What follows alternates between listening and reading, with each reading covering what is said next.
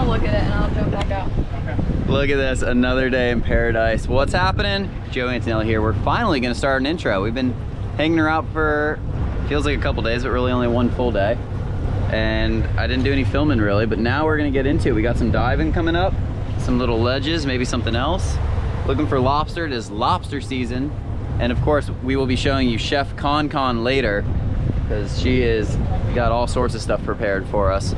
And she's gonna be trying to make her first YouTube video, her first video actually. Don't think it's gonna be YouTube necessarily. But she's gonna have a mask cam on too, so someone other than me will have a perspective of it. But look at this water, is just absolutely beautiful. We also have Perry on the helm, or on the bow. He's our, our spotter. Make sure we don't crash. Finds lobsters. It's because he can see double. Double the lobsters. And then we have, already did Connie, we have Nick Furrow from Palm Bay Boat and Motor Superstore. Right, Nick? Even in the Bahama, he's slanging boats.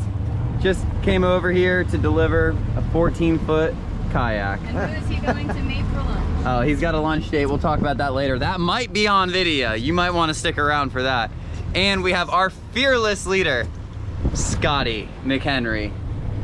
Because if you need quality tires and great service too, you got to go to Gatto's. Thanks for having me, Joey.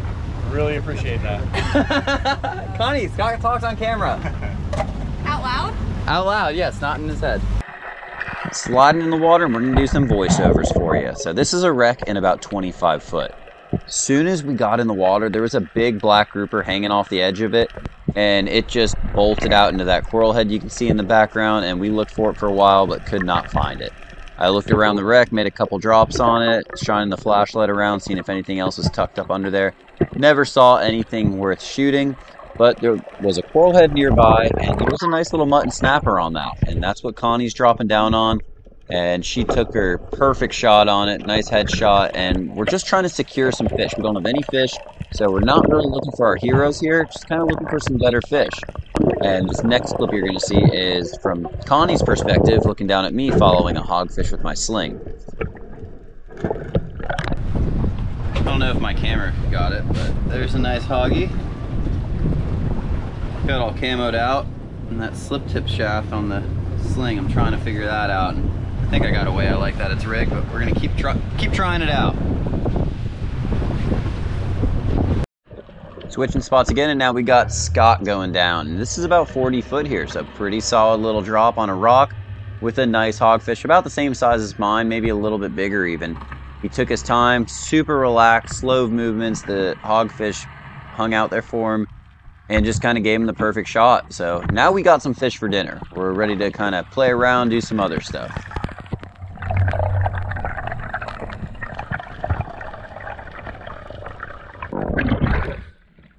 That'll do. Before we switch things up and start looking for lobster, I wanted to show you this clip. This was a giant parrotfish. I was just trying to get down there and film. And while I went down, I started dusting, throwing some sand up in the air to try to make some commotion to call in some fish. Uh, and it worked. A mutton started to get curious. Uh, there's that big parrotfish. But if you look in the background, uh, off to the right side of your screen, you'll see a really solid mutton show up, probably about 10 pounds or so.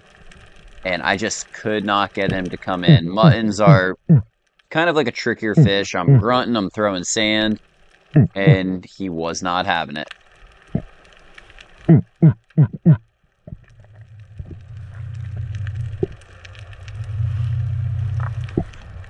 It's so pretty. So, so nice. I am videoing. I didn't want to ruin your uh, YouTube. We're about to do some diving for lobsters. We shot a couple fish. Minimal effort, but we got a few. And we're in the shade now, but it's still absolutely gorgeous. First time I ever threw my wife from a boat.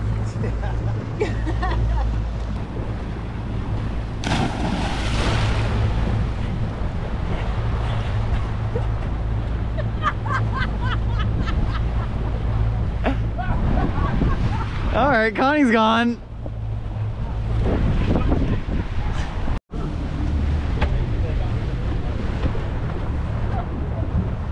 Come on, Connie.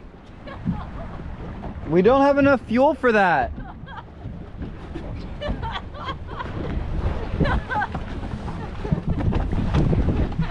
All right, this one's for Mason.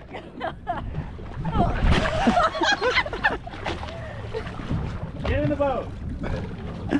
Connie is in trouble. Ow. Eventually, we're gonna make it to some lobstering turf. So now we're on the inside. This is the Sea of Abaco. This isn't out in the ocean.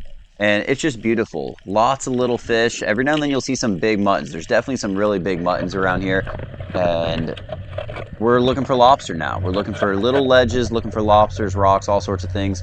And my favorite way to get them is using the spear, kind of tickling them out of the ledge and then grabbing them. Uh, I did use a lobster snare also here, but I was filming that one. And here's another one that walked out of the ledge when we were messing with it, and Connie went ahead and speared that one. Now you are allowed to spear lobsters in the Bahamas, and that's what we did right there. Here's kind of a look under the ledge. I got the flashlight. I look down there, make sure there's not an eel or something that's uh, going to be there if I try to grab them. And you'll see, just really slowly, kind of. You don't want to scare them, really. Like you don't want to go in all aggressive, but just kind of guide them out of there. I'm using the uh, sling shaft, and the way I was doing it is I was kind of pushing them out, and there was a few of us in the water, so it was easy for someone else to uh, swim down and either shoot them or I could try to grab them or shoot them. This one took off, so I know someone else is going to watch the ledge. I load up the sling and load it up backwards, but it doesn't matter.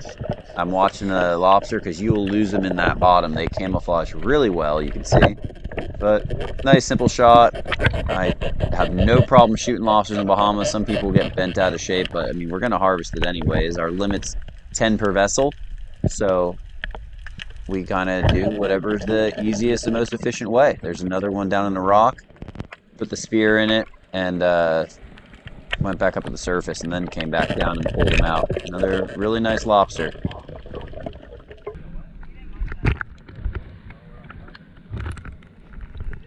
Here you go. Wait, you? Joey's still in the water. You don't- Now here's one of my bigger lobsters. This is probably the biggest lobster I got while we were over there. And we did the same thing, scared him out into the grass. And now I'm dropping down and I have the lobster snare. So the snare is like basically a slip knot sort of thing. I have it behind the lobster here. I cinched it too early. It didn't didn't hold on to him there. You gotta let it get up towards their body. So the lobster walks into it, cinch it down, and then you can pull the lobster up. Now we got something kind of fun coming up. Decided to try to teach Nick how to use the sling. We wanted I Nick to shoot the sling. We're at the dock taking a little break before we go out fishing in the evening. Oh, he almost got he's him. firing the sling at the Yeah. mangrove snapper around the dock. See if we can get one of those. And good practice. That was close. Just drop down again. Oh, look, frigate up top. See the frigate?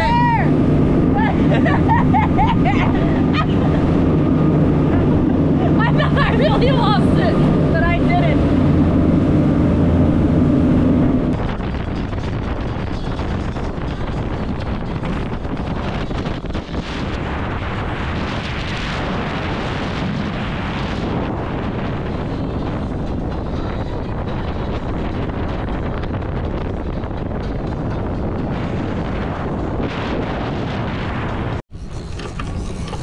Yeah, that's the right one. That's got to be the right one.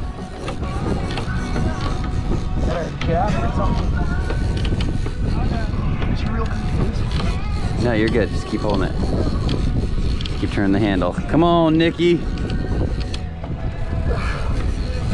No, don't pull the line. Just let it go smooth. You got. That's all right. Just let him keep going through. Let me have your tip, Connie.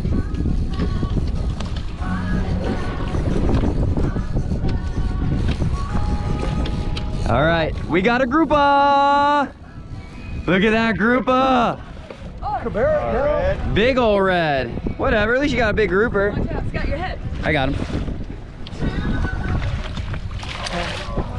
Ah, That's the wrong elbow. Red. That is a giant red. Well, I think I got my goal over 15 pounds. Nick got a stud of a red grouper.